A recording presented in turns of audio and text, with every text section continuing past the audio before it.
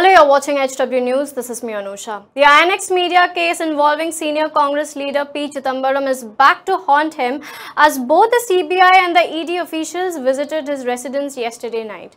This comes a day after the Delhi High Court had said that the INX media case was a classic case of money laundering. The former finance minister and senior Congress leader P. Chidambaram today is seeking relief from the Supreme Court after the Delhi High Court yesterday refused to grant him any protection from arrest.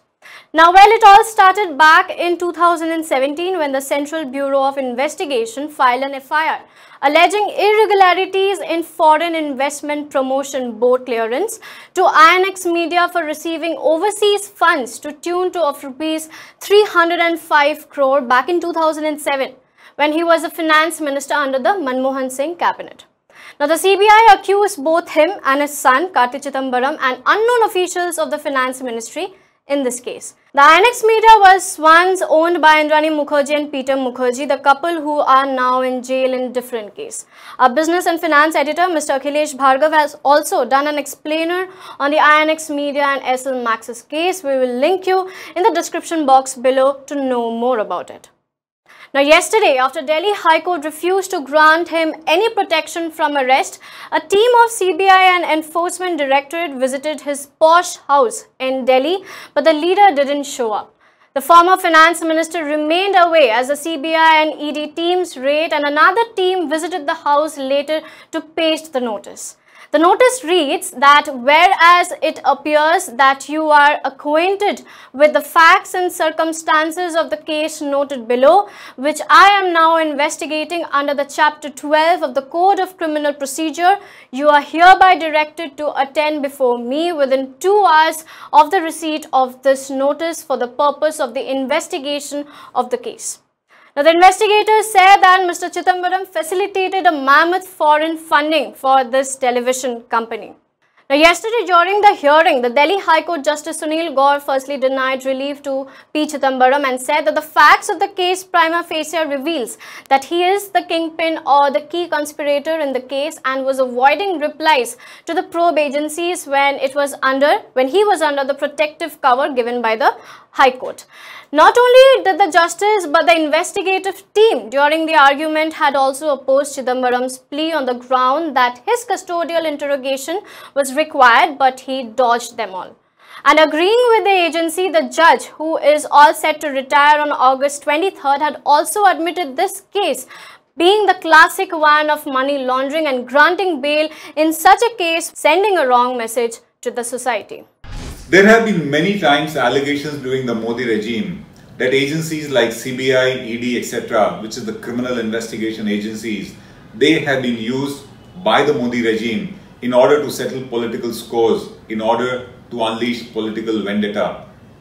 While it has all, always been said that these agencies have been tools in the hands of the government to harass opponents, what is being said is that in the Modi regime, the incidence of such harassment has been much higher. Thus, whenever any politician, especially from the opposition parties, is raided, interrogated, arrested, or is questioned by these criminal agencies, a UN cry is raised across the political spectrum, alleging persecution, vendetta, victimization, and harassment in order to silence political opponents. And these charges have surfaced in the case of Mr. Chidambaram also. He is under imminent arrest by CBI and ED for charges that have been levied against him in two particular cases, which is the INX media case and the Aircel Maxis case. In the INX media case, a confession statement was made by Indrani and Peter Mukerjea against Mr. Chidambaram in 2017, wherein they said that for bribes being given, or rather for a consideration that was paid to Karti Chidambaram, who's Mr. P. Chidambaram's son, all their violations of foreign exchange investments were condoned and regularized by the government. And those were condoned at a time when Mr. Chidambaram headed the FIPB as the finance minister.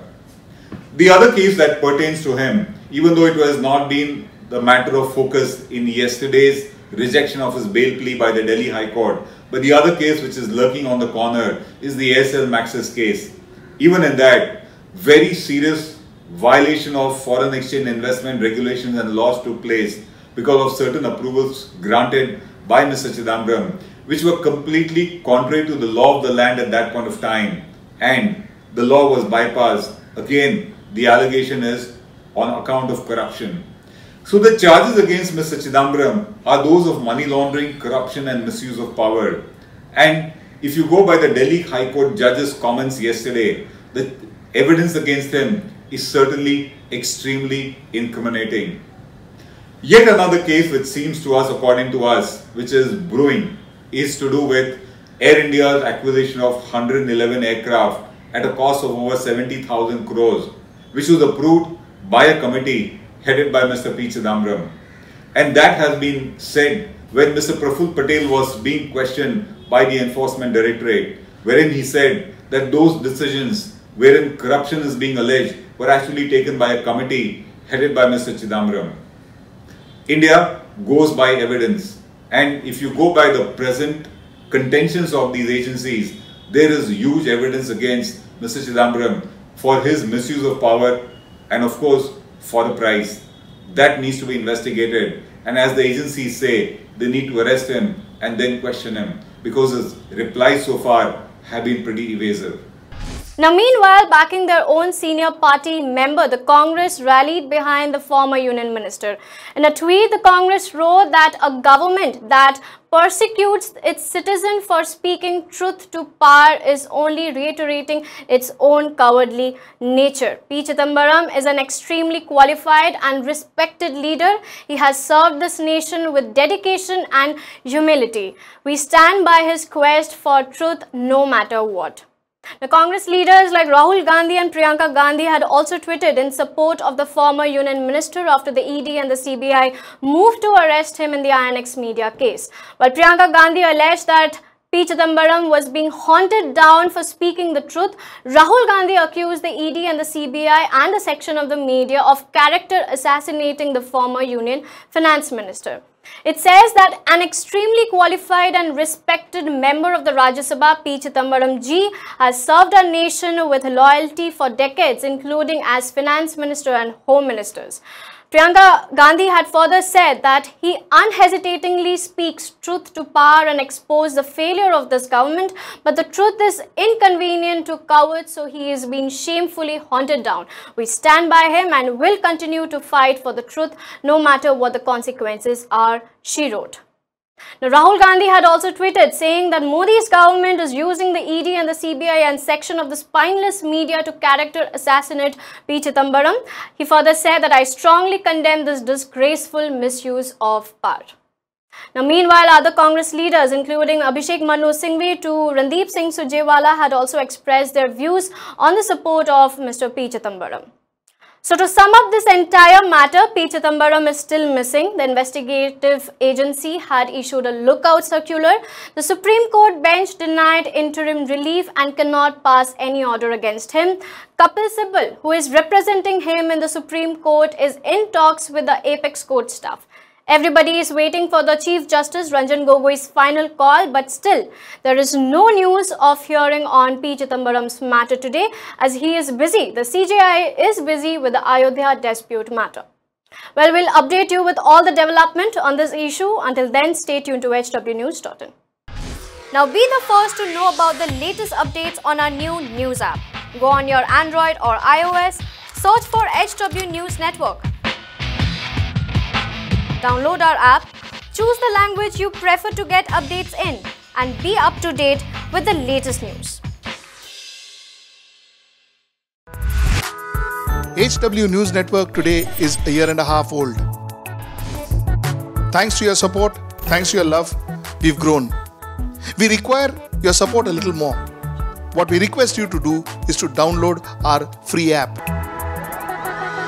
Our app is in Hindi, English, and Marathi.